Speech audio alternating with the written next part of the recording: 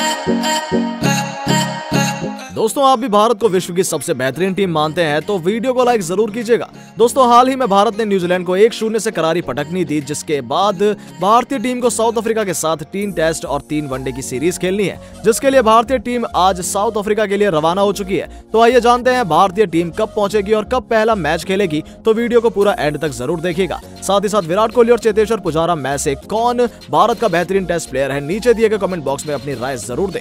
दोस्तों, भारत की team south Africa दौरे के लिए पहले 17 दिसंबर को मैच खेलने वाली थी, लेकिन कोरोना के खतरनाक एमरिकॉन वेरिएंट के कारण यह सीरीज़ 10 दिन स्थगित हो गई है और टी सीरीज़ रद्द भी हो गई है। दोस्तों, हाल ही में बीसीसीआई के अध्यक्ष सौरभ गांगुली ने भारत के नियमित वनडे और टी के कप्तान विराट कोहली को हटाकर रोहित शर्मा को बनाया है और उप कप्तान के रूप में के राहुल को बनाया है। टेस्ट में कप्तान विराट कोहली ही रहेंगे, लेकिन उप कप्तान रोहित शर्मा होंगे, लेकिन साउथ अफ्रीका दौरे से पहले भारतीय टीम अभ्यास के लिए मुंबई पहुँची तो वहाँ बुरी खबर सामने आई है। रोहित शर्मा अभ्यास करते समय चोटिल हो गए हैं और टेस्ट सीरीज़ से बाहर हो चुके हैं और कयास लगाए जा रहे हैं कि वनडे सीरीज़ से भी वो बाहर हो सकते हैं और इनकी जगह टीम में प्रियांक पांचाल शामिल हो गए हैं। दोस्तों, भारतीय टीम 12 दिसंबर से मुंबई में क्वारंटाइन के साथ साथ अभ्यास कर रही थी, जिसके बाद उन्हें 16 दिसंबर को भारत के लिए रवाना होना है। भारतीय टीम आज साउथ अफ्रीका दौरे के लिए रवाना हो चुकी है। भारतीय टीम शाम को साउथ अफ्रीका पहुँच जाएगी और वहाँ बायो बबल का हिस्सा होगी। भारतीय टीम 26 दिसंबर को पहला टेस्ट मैच खेलेगी, जिसके लिए कैसी हो सकती है भारतीय टीम? आइए हम आपको बताते हैं।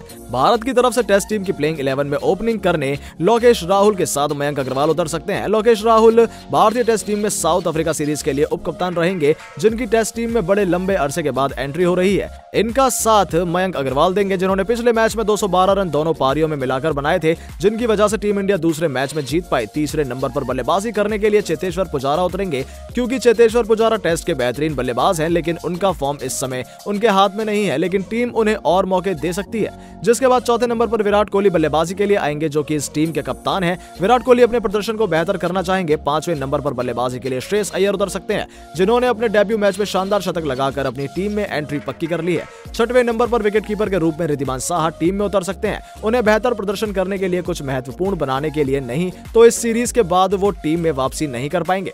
सातवें और आठवें नंबर पर भारतीय टीम की तरफ़ से ऑलराउंडर उतर सकते हैं, जिनमें रविचंद्रन, अश्विन और जयंत यादव शामिल है। ये दोनों खिलाड़ी टीम को बल्लेबाजी और गेंदबाजी दोनों तरफ़ से टीम को मदद दे सकते हैं। नौवे नंबर पर तेज गेंदबाजी के लिए मोहम्मद सिराज को खिलाया जा रहा है। उन्होंने पिछले मैच में शानदार पाँच विकेट लेकर न्यूजीलैंड की टीम को कमर तोड़ दी थी और जीत में अहम योगदान भी दिया था। इसके बाद दसवें और ग्यारहवें नंबर पर मोहम्मद शमी और जसप्रीत बुमराह शामिल है। ये दोनों खिलाड़ी भारतीय टीम की रीढ़ की हड्डी है। ये दोनों खिलाड़ी समय आने पर अपने कप्तान को विकेट लाकर देते हैं, जिसके कारण टीम जीत के करीब भी पहुँच जाती है। तो दोस्तों, कैसी थी टेस्ट सीरीज़ के लिए प्लेइंग इलेवन? आप भी अपनी प्लेइंग इलेवन नीचे दिए गए कमेंट बॉक्स में ज़रूर लिखें। और वीडियो अच्छी लगी हो तो लाइक और शेयर ज़रूर कीजिएगा। साथ ही साथ आगे की ताज़ा अपडेट जानने के लिए चैनल को सब्सक्राइब ज़रूर कर दीजिएगा। धन्यवाद।